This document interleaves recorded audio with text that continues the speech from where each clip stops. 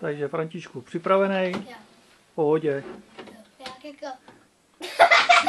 Na závody ty. Na závody, přesně tak. Jo.